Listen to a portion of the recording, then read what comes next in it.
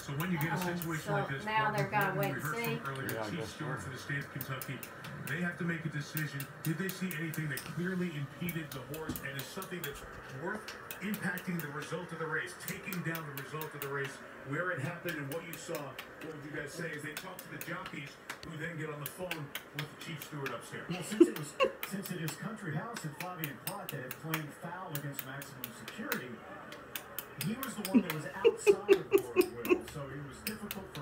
haven't seen an angle yet that would indicate that he was bothered sufficiently to change the order of finish. No, in my opinion, only War Will was impeded during that little slump at the top of the stretch. And two things going on there. Some of the jockeys are, waiting, are waiting to wait in. They, they have to do. Come And the two jockeys involved in question here are the ones in conversation on the